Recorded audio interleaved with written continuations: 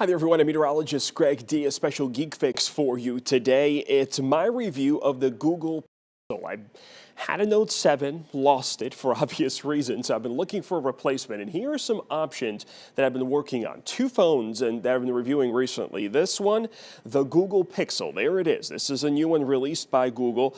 Two options of this one, five and a half inch and a five inch model. It is a nice phone. It is basically the Android equivalent of the iPhone. Google has simplified the software. They made the design very easy to handle. And yes, it does look like an iPhone. And I don't think that that was actually uh, by coincidence. I think they were really trying to go towards that iPhone look here. All right, so what do we got in terms of specs? Uh, the phone, yes, is made by Google. And it's really all about the camera here. Take a look at this photo that I took. This is from Lakeview Cemetery uh, just about a week week ago. Uh, this this uh, right here, the uh, gravestone, was absolutely in the shadow. The back the sun and uh, the field in the back was fully lit and look what the phone did both are perfectly exposed that is very rare to don't see that very often. A very good HDR algorithm in there really creating some incredible exposure. When you're taking a picture like this what I did here is I clicked on the screen before I took the photo on the gravestone. The sky turned white, blew completely.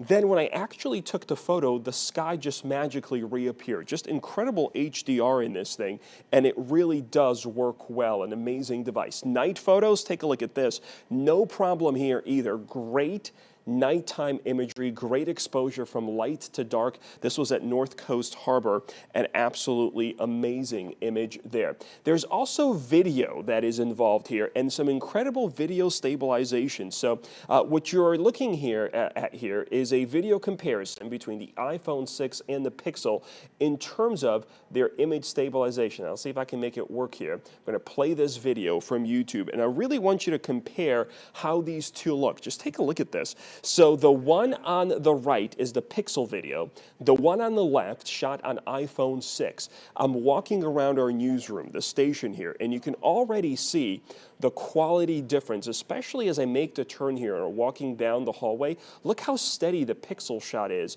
and how jumpy and jerky the iPhone is. The images are really incredible. It looks like the Pixel image is on a steady cam. Just an amazing image there, an amazing stabilization provided by that phone. So it really does make things like shooting video very, very easy. And I love to see that. Uh, makes uh, makes uh, shooting video and, of course, uh, taking pictures uh, just a breeze here on uh, the Pixel itself.